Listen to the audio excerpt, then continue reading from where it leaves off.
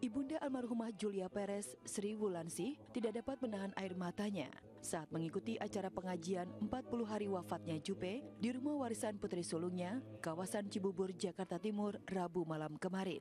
Sri Wulansi beserta ratusan tamu yang hadir larut dalam suasana hikmat. Pada pengajian 40 hari wafatnya Jupe, Ustadz Zaki Mirza yang merupakan sahabat almarhumah ikut ambil bagian memberikan tausiah. Mohon itu jadi sedekah untuk yang menghadiahkan dan menjadi penerang untuk almarhumah di alam barzah. untuk acara 40 harian ini semoga doa-doa yang tadi dihajatkan oleh semua orang yang di sini dan semua orang yang di rumah itu diterima oleh Allah didengarkan oleh Bapak juga semoga ditempatkan di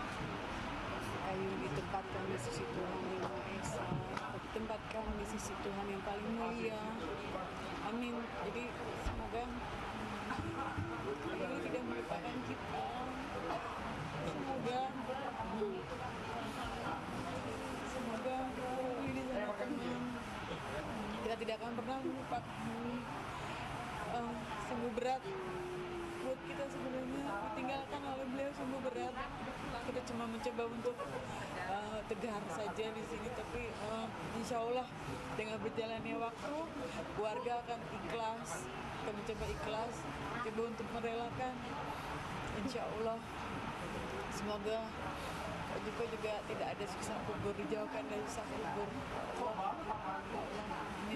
Sementara itu, di antara tamu yang menghadiri pengajian 40 hari wafatnya Jupe, dari kalangan artis, hanya Sarwenda yang terlihat datang. Bahkan suami Sarwenda, Ruben Onsu, yang selama ini dikenal sangat peduli pada Jupe, tidak tampak di acara itu.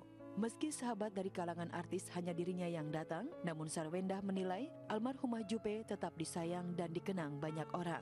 Kak Jupe itu banyak banget yang sayang dan eh, sampai sekarang pun masih Kak Jupe maksudnya eh, masih banyak yang inget Kak Jupe. Dan kita selalu kalau misalnya lagi ngumpul kayak gini pasti ngomongin dulu Kak Jupe gini-gini ya kayak gini ya. Kalau ada Kak Jupe pasti kayak gini. Apalagi kemarin kalau misalnya ada acara apa pasti ada Kak Jupe pasti selalu inget Kak Ruben karena emang ada syuting jadi eh, dia selalu sangat care. Kan teleponan juga dia sama mama gitu.